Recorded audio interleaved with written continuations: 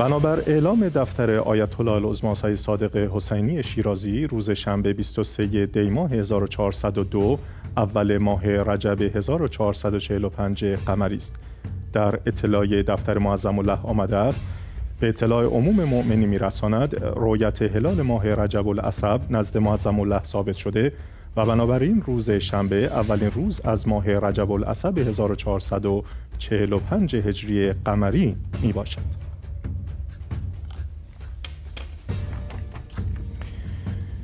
شیخ محمد رحمانی از وکلای مرجع عالی قدر آیت الله العظما سید صادق حسینی شیرازی در افغانستان از حفر دو چاه دیگر توسط دفتر مرجعیت خبر داد.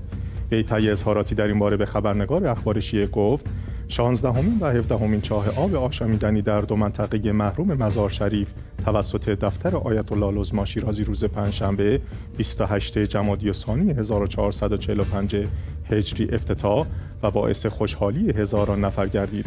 او ادامه داد این امر خیر و خداپسندانه با همکاری مؤسسه خیریه جهانی اهل بیت علیهم السلام صورت گرفت.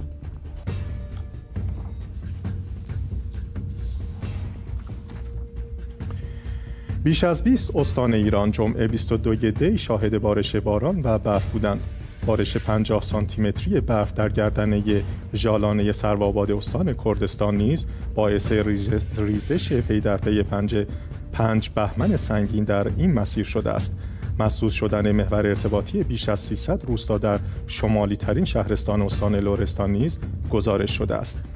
مقامات شهرستان دلفا می‌گویند گردنه سرگشتی در این شهر به دنبال بارش سنگین برف مسدود شده است. سازمان هواشناسی ایران در دوازده استان وضعیت نارنجی کولاک و برف اعلام کردند. هشدارهایی نیز درباره احتمال ریزش بهمن و سنگ در مسیرهای کوهستانی هراز و چالوز نیز صادر شده.